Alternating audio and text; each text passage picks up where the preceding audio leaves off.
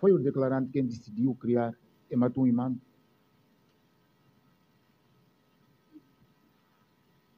Eu, como comandante em chefe, sim.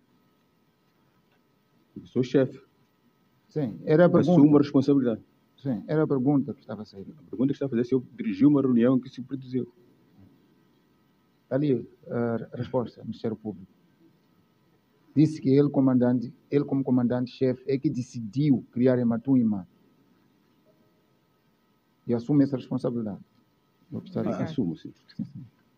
Assumo essa responsabilidade e assumo a responsabilidade de ter criado a zona eh, especial. Econômica exclusiva. Sim, sim, sim. Exatamente.